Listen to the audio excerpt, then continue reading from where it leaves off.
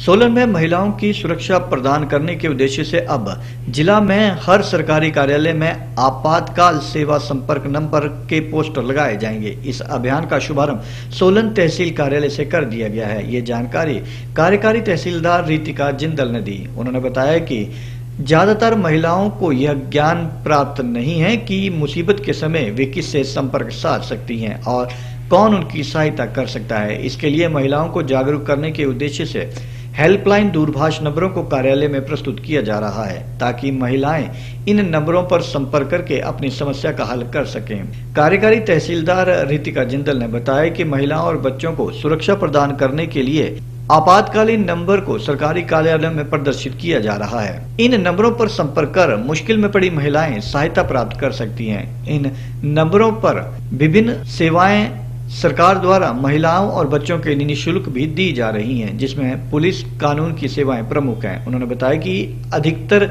महिलाओं को इन नंबरों का ज्ञान नहीं है, इसलिए उन्हें जागरूक करने के उद्देश्य से इस अभियान को शुरू किया गया है। जैसा कि यहाँ पे एक मीटिंग हुई थी वुमेन एंड चाइल्ड डिपार्टमेंट की तरफ़ से तो हमें डीसी सर की तरफ़ से एक ऑर्डर आया था, जिसमें minutes of the meeting attach थे।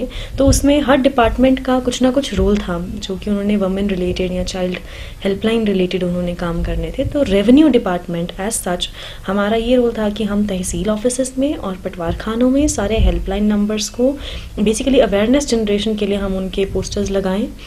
तो हेल्पलाइन नंबर्स को डिस्प्ले करें। So this is what the initiative we have taken particularly since as you know के नवरात्रा अभी चल रहे हैं तो नवरात्रा को uh, धार्मिक तो रहते ही बट हम इसको एक वमेन सेफ्टी एंगल और वमेन एम्पावरमेंट एंगल भी देना चाहते थे।